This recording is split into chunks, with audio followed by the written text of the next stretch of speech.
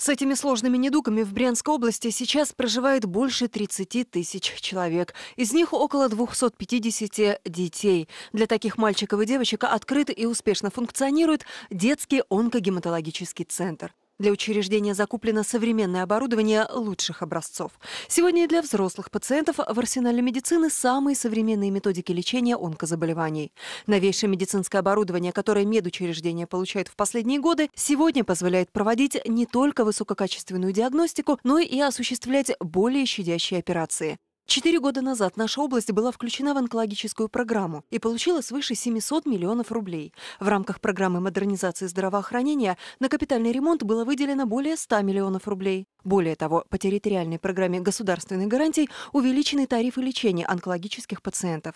Сейчас регион обеспечен всеми медикаментами, которые входят в перечень жизненно необходимых и важных лекарственных средств в полном объеме. Только вот большинство заболевших приходят к врачам уже на второй или третьей стадии болезни, а кто-то и на четвертой, когда уже приходится иметь дело с достаточно запущенными случаями и что-либо сделать уже сложно. Ранняя выявляемость рака дает шанс на дальнейшую беспроблемную жизнь. Выход из ситуации – диспансеризация. Приучить к ней население, убеждены медики, нужно тщательнее. Важно, чтобы каждый понимал и помнил о необходимости регулярных обследований.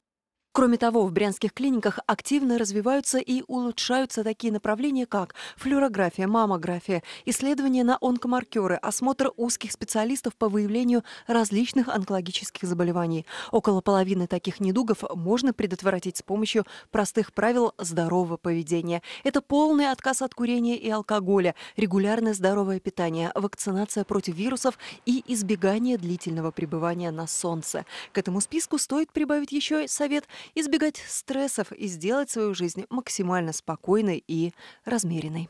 Татьяна Глазова. События.